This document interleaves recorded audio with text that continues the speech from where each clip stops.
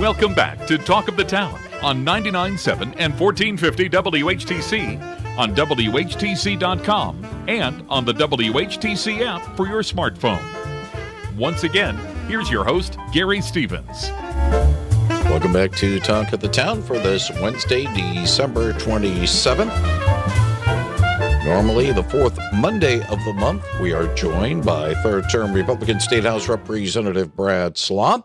But because we were not airing a program on Christmas, we're very pleased to have the representative join us on this day. State Representative Brad Slagh, good morning and uh, Merry Christmas. Happy New Year to you, sir. Uh, Gary, thank you for the invite to be here today and the opportunity for me to be in and speaking to your illustrious uh, folks out there. And by the way, if you have a question for State Representative Brad Slagh, he'll be happy to answer it at 616 395 1450, 616 395 1450. Uh, as a matter of uh, transparency, Brad Slagh is also the state representative where I live. So um, I, I, put that out in transparency. There we so go. I, I I'm a person that can talk to my state representative, and you can too. Even if you aren't living in his district, 616 395 1450. Brad, before we touch upon some of the topics that we had discussed and beforehand, I do want to bring this up as somebody is asking a member of the state Republican Party in terms of the delegation. December 27th was supposed to be a special meeting dealing with the state Republican Party and some issues involving its leadership.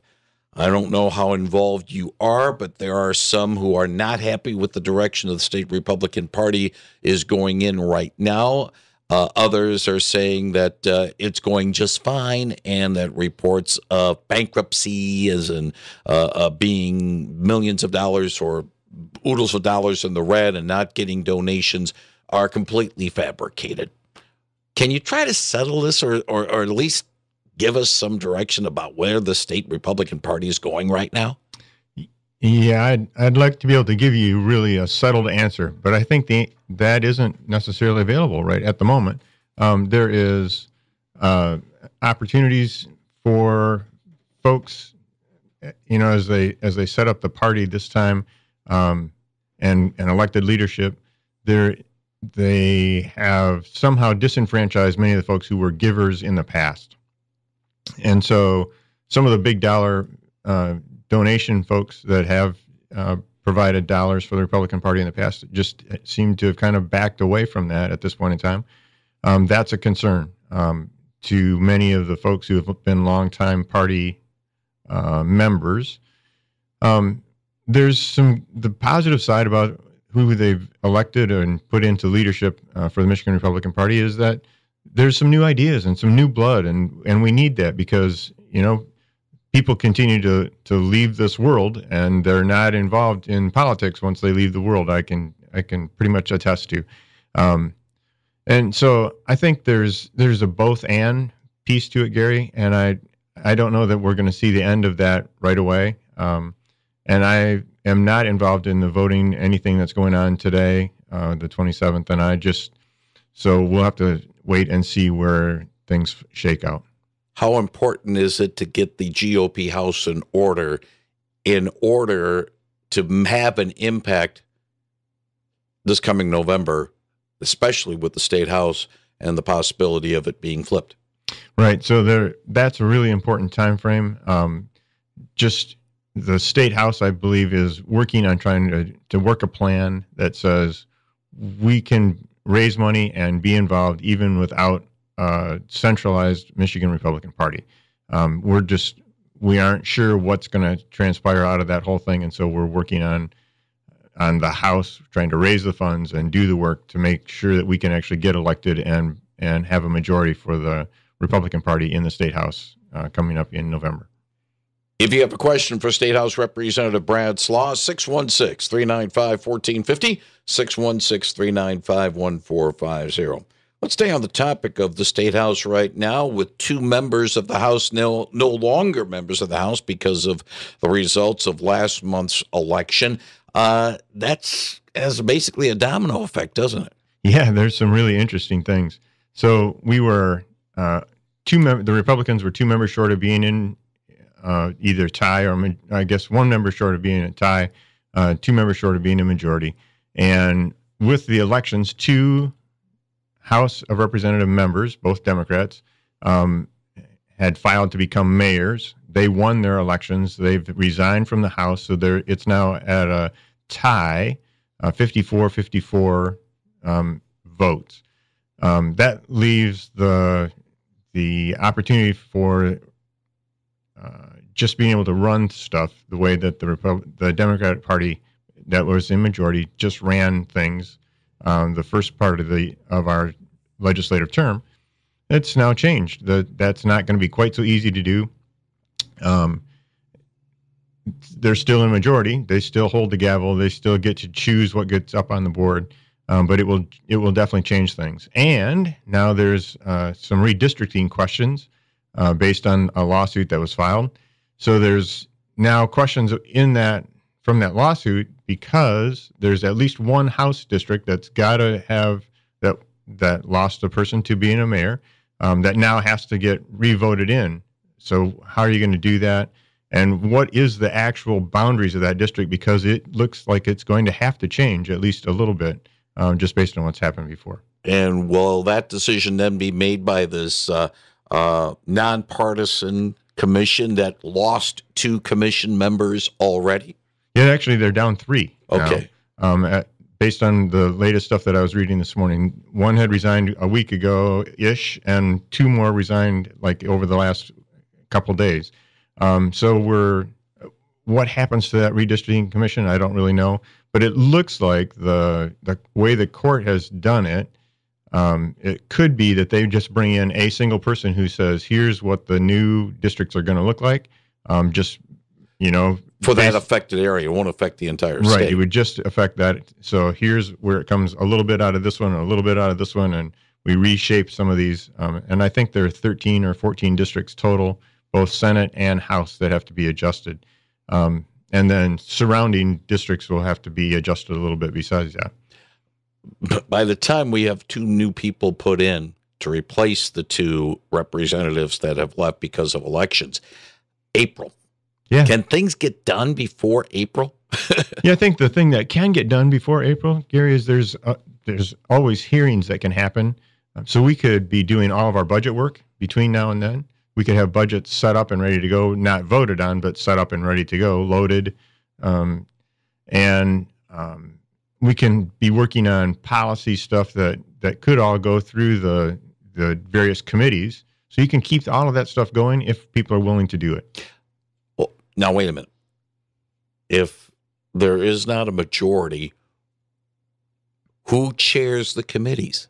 So the the way that the that the rules were written as we came into this term were that the and you know the the Democrats were the majority party, so they uh, finally approved the rules, and those rules were to, that included that the Speaker of the House does not change unless the majority of the House changes. So even if it's a tie, the Speaker of the House will not change because there was the way that the rules are written for this legislative session. And that fil- filters down with the committee chairs as well. that is correct. okay.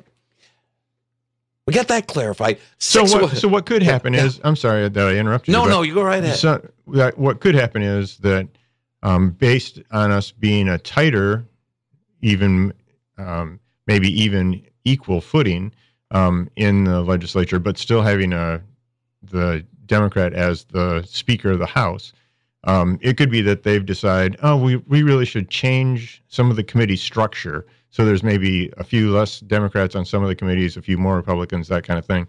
Um, so things like that could change, but I don't I don't perceive I don't perceive that there's going to be a full scale undoing of anything. If you've got a question for State House Representative Brad Slagh, he'll be happy to answer it at 616 395 1450, 616 395 1450. So, Brad, what's the expectations then for the back half of this legislative session in 2024? Uh, is it a little uncertain because of the fact that we still are two down, two House members down right now, or you know, what what can we expect? Yeah, I think you are exactly right. We there is there because of the change, because of where we're at right at the moment, we're expecting to not see any real big legislation move, um, at least until we get to April. Um, because of the numbers, it's possible that it could move in the Senate side and they could stack a whole bunch of stuff up, uh, waiting for the the right mixture of uh, and and numbers to be able to to push things forward in the legis- in the House later on. Um, but from the from the House side, I just don't see very much moving until we get past April. There'll be some legislation work being worked on. It won't get passed. But then again, normally in an election year, sometimes things don't get done because Yeah. it's an election year. That's true. But one of the things that we're also looking at then is if none of that happens in between now and April, then all of a sudden we're going to need to have a bunch of stuff get done between April and probably early June because by the time you get to June, it's an election year and folks are going to want to be out knocking on doors, especially when those some of those districts have changed boundaries. There's going to be people out saying, "Hey, I need to figure out uh, who is my representative and who is my senator if the if the, the boundaries have changed." Um, and then coming up is lame duck, and if the Republicans win um, a majority in the in the House, it will change what's going to happen in lame duck. I expect to see a flurry of activity then. Yeah, and then of course the Democrats complained when they were in the minority about things being done in lame duck when the Republicans were in the majority. I have a funny feeling it's going to be the shoes on the other foot. I think you're probably right. Now, uh, one issue that was, you know, talked about and bandied about somewhat in the first half of this legislative session was issues involving local control, and most notably the uh, energy. Bill that came through and was signed into law by Governor Whitmer uh, late last month, uh, involving, um, you know, the state control of lands to allow solar panels and wind turbines to be installed. Is that going to continue to be a theme perhaps in 2024? Yeah, I think it will, Gary. I, I think what what's happened is we've now got the nose of the proverbial nose of the camel underneath the tent, and once the nose is there, the camel keeps coming. And I I think the um, what you're going to see is a real effort. Uh, I know that uh, related to aggregate mining, uh, so sand and gravel and those kinds of things. I know that the Speaker of the House, uh, Joe Tate, is very interested in um, moving that forward and allowing it to be sited at the state level rather than um, being sited at the local level. And so I think there's going to be this continued push of saying, hey, uh, the state government can do take care of this stuff for us. We don't have to deal with all the local municipalities, um, and we're going to just move forward. And we aren't going to care about what you and your property values are. We're going to care about where where can we put stuff and when and why. not only in that regard, but also some other local control issues that could possibly be changed uh, include short-term rentals. Absolutely, absolutely. Yeah. Once you've once you've done this, the first part of that, it, I if I can take control of of doing it the way I want to as a state bureaucrat, um, hang on because it it could go any place. Water, Yeah, yeah. Access. hmm our access as well. The um, the uh, pat the, the Pandora's box is open. Yes. I, I You truly you use it- use the camel. I use Pandora. Yeah, it's yeah. still the same thing. That is correct. 616 395 1450 if you have a question for State House Representative Brad Slagh. A couple of other items I wanted to bring up to you. Uh, last week, a state court of claims judge ruled that Michigan's income tax will indeed return to four and a quarter percent from 4.05 percent. Dismissed a lawsuit from uh, the Mackinac Center for Public Policy and a couple of state lawmakers. I think Ed McBroom up in Vulcan was one of those. Uh, they had sought to keep the income tax lower. The change will add around 700 million more dollars to the state's general revenue fund. The uh, Mackinac Center for Public Policy in Midland says that they will appeal this decision. As a former county treasurer, which you were, Mhm. uh, Brad Slagh, uh, certainly. Uh, can can can the clock be changed, or is it even if it does get appealed, it, it's still inevitable? Um. Well, I, yeah, you know the the the phraseology in the orig- original legislation talks about the current rate will be adjusted, and the current rate was the rate at which time it was the the law went into effect, and then when it actually reached the certain dollar amount that said, oh, that there's a rollback. So if that was the current, then why would we expect that it is going to get rolled back up? Because that wasn't the current rate. That's a new rate. Uh, so uh, from my perspective, it seems like there's a really valid reason for us to to say this. It should be a permanent tax rollback, and um, that the government can just say it wasn't. Doesn't seem to make a lot of sense to me, but um, we'll have to see where it goes. It could be a permanent tax rollback, but it looks as if those who want to purport for the increase can say, "Well, it's a permanent tax increase." Right. and so, and I guess that's the problem is we've got a group of folks who continue to say that they're willing to take to increase taxes, and I I think that's what our you know as we as we move into the this year, which is an election year, I think we need to have people saying, hmm, which group do I want to affiliate with? Those that want to increase taxes or those that want to try and keep them lower? Brad, this morning we received a press release from the uh, State Department of Labor and Economic Opportunity saying that the Michigan Unemployment Insurance Agency received the latest findings from the Office of Auditor General on fraud technology, financial waivers, and other well documented issues stemming from the COVID 19 pandemic. UIA noted that every pandemic rooted issue raised by OAG had previously been addressed by the agency and has been either been solved or will be resolved as soon as possible. Major reform takes time. And the highlights of the press release are this an agency led crackdown resulted in charges against 162 fraudsters and 90 convictions, more than $90 million recovered. The director of the UIA, Julia Dale, established a UIA fraud fighting bureau led by an attorney recruited to lead fraud crackdown, and an antiquated technology system from the Governor Snyder era will be replaced as part of sweeping UIA reform agenda. I know that you and other legislative Republicans were in the vanguard when we had the unemployment issues stemming from COVID 19 three years ago. It will be four years in February and mm-hmm. March. What do you make of this, shall we say, tooting of one's horn by the UIA? Yeah, well, I, I think there's several things. One is uh, the Republicans were front and foremost saying to the Office of Auditor General, "Hey, we we should do some investigation about this." So we actually were part of the group that said, because the Auditor General is one of the organizations that is uh, not reporting directly to the governor, that's in the bureaucratic realm, and so how do we use that as a way to be able to make sure that we're asking the right questions and we're not allowing things to just slip through the cracks? Uh, the legislature has always used it that way, and it's it's appropriate. Um, I'm glad to see that there's an acknowledgement that there's a problem, that we are actually out there.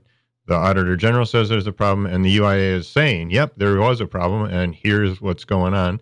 Um, my concern is if there's $90 million or whatever that number was that they've recovered, but only 90 cases out of 150 some that they saw, how much more is out there that we haven't received back that was given away inappropriately. Um, so obviously, there's a bunch more work to be done, um, needing to figure out where where all these issues are and and how do we get it cleaned up. And I would I would easily believe that there was a problem with technology and the information that's out there. Um, how come we're not a, we weren't addressing this in advance of you know the pandemic or through the pandemic, I didn't I didn't hear that we were short of equipment before that. I was already in the legislature, didn't hear that we needed new equipment to be able to make that work and to protect our assets. So improved equipment or updated yeah. technology so that getting the fraud is one thing, getting the scamsters is another. But here's the thing that I think most people would say is why has it been so much of a problem for me to get my claim taken care of? We heard and we've seen issues of people you know they're trying to get their claim and they're getting the whole runaround and nobody's cutting the red tape Right. Yeah. And, you know, we've done a lot of it. I, I, I know that it's not just my office, but the legislative offices have done lots and lots of work to try and um, break the stalemate that's happened.